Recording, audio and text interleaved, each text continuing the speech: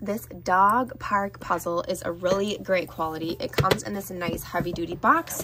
It is a thousand pieces. Let's take a peek at how big the pieces are.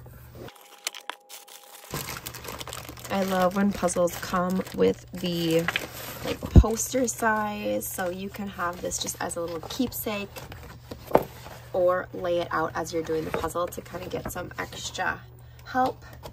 This is adorable. If you are a dog lover like me, it comes with this cute poster um, on the back. It has real pictures of dogs and some information about them as well there is a small size poster in here as well. So you can take that out or actually I might even leave it in here so then I can put it upright and look at it while I'm doing the puzzle. And this is kind of unique. It's a zip bag so you can kind of keep your puzzle safe and secure. I like the feel of these. They're almost like velvety soft and have like a matte look to them so they don't have a shine, which I kind of like. These are super soft pieces. Awesome. I think this puzzle is a win.